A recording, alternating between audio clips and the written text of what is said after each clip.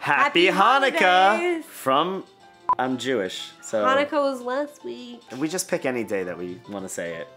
We have to let you know about all the like traditions and mythology. God impregnated her, but she was a virgin.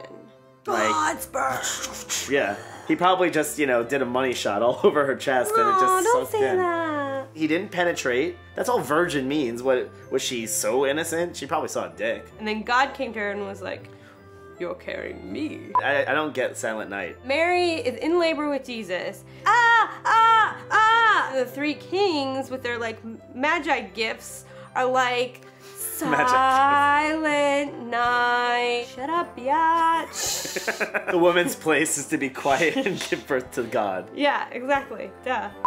One last question. Why are there 12 days of Christmas? You're ruining Christmas.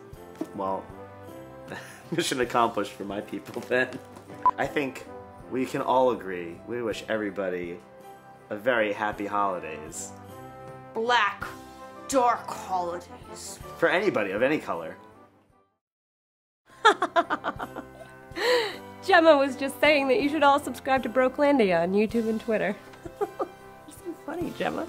I want your hair. I want your hair.